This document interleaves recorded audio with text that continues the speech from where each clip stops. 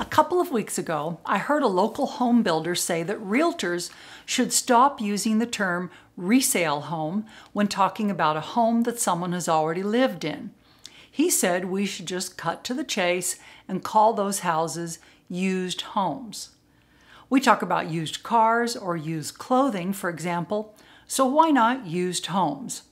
And is there really any difference between a $450,000 used home and a $4,000 used car? This is a divisive topic, so let's take a closer look at new construction versus resale, aka used homes. Is one really better than the other? And more importantly, is new construction really worth the premium price you pay when buying a brand new home? Builders argue that once a home purchase is closed, there's a dramatic joy gap between buyers who bought new builds and those who bought used homes. According to the builders, people who buy new builds can focus on moving in, unpacking, and decorating, while those who buy resale homes have to focus on hiring contractors to remodel, refurbish, or repair the home, a process that may take months to complete. As a realtor here in the Boise, Idaho market, I would argue that this isn't an entirely accurate claim. There are people who buy brand new builds and immediately start making structural changes, repainting, or even tearing out and redoing some of the features added by the builder. For example, changing out all the hardware, rebuilding the pantry, or switching the electric range for a gas range. And there are new builds that have warranty issues and other problems that the builder or homeowner has to deal with. But this is not to say that people who buy used homes face no repairs or remodeling. Many of them do. Even the most well cared for resale homes can have problems, sometimes big problems like a roof or an HVAC, and many buyers do choose to do repairs or remodeling once they moved in. It really depends on the home and the buyer. But it's not fair to say that all used homes need a major overhaul. They just don't. Plenty of people buy resale homes that need no updates or changes. What we can fairly say is that a new build home should be fairly free of problems, often for years to come. The heating and cooling system, roof, plumbing, and the structure itself are all brand new and with regular maintenance should give the homeowner years of use with little worry. Everything should be under warranty from appliances to the HVAC. With a resale home, the warranties have often ended. Getting a home warranty isn't a bad idea with an older home, especially if you don't have much money set aside for repairs.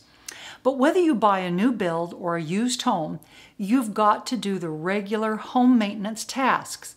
Things like changing out the furnace filters regularly, opening and closing the foundation vents when the seasons change, and especially keeping water from entering the roof, attic, or crawl space.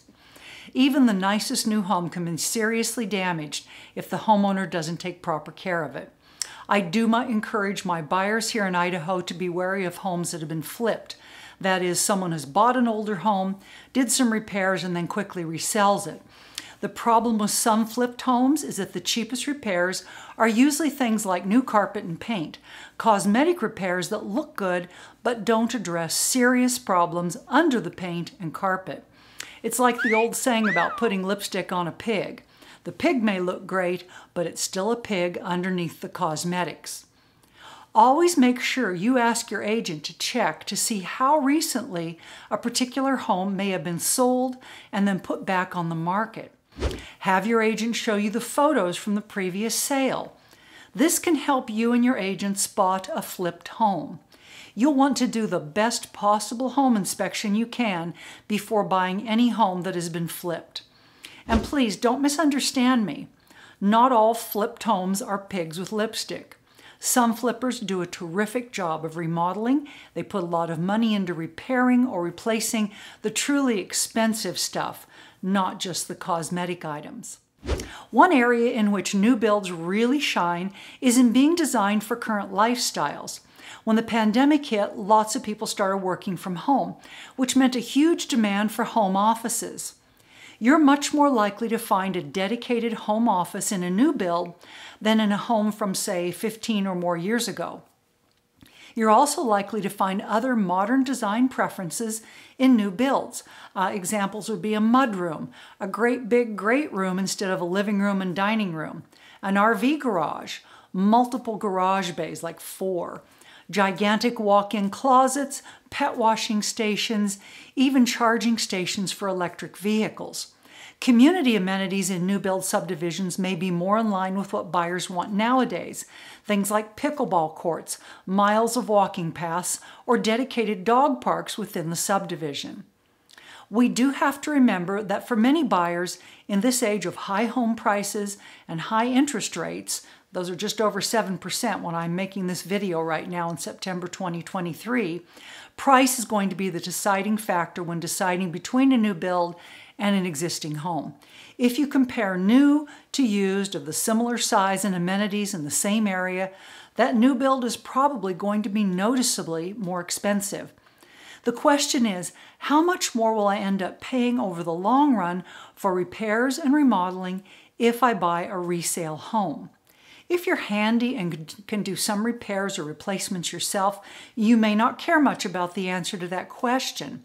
But if, on the other hand, you'll need to hire contractors to get the work done, then you're going to have to figure out if you can afford the repairs you want and need to make. Get a couple of local contractors to give you quotes before you finalize the sale, not after.